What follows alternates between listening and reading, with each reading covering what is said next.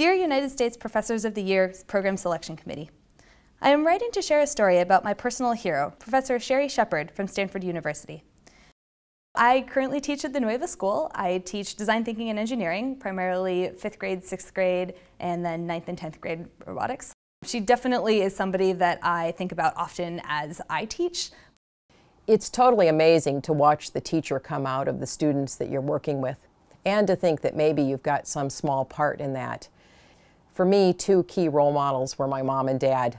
My mom taught fifth grade for many, many years, and my father was a metallurgical engineer Today's modern engineering work, more so than ever, is about being on teams. And so more and more educators are thinking about how to bring those team sort of experiences into the classroom because they really are representative of how people work. And that means being able to collaborate and recognize the strengths in others that you're going to draw into the work and not feeling competitive like I've got to do it all.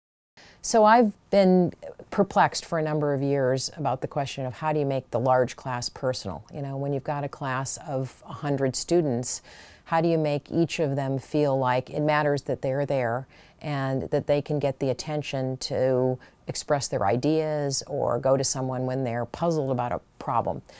When Sheri transformed her large introductory engineering course from a traditional lecture format into pods, she brought a number of research based teaching and learning practices into play. In particular, she has students building and talking and constructing together from the get go. They're developing engineering expertise, not waiting until they know enough stuff, but developing engineering expertise from the beginning. Sheri's been a leader at Stanford, and of course, she's also part of a much broader national community of engineering and science educators who are helping us all improve what's happening in our classrooms. We're extremely pleased that Sheri Sheppard now has been recognized nationally for her efforts by being named Professor of the Year by CASE. We're very proud that one of Stanford's faculty has been named with this distinguished honor.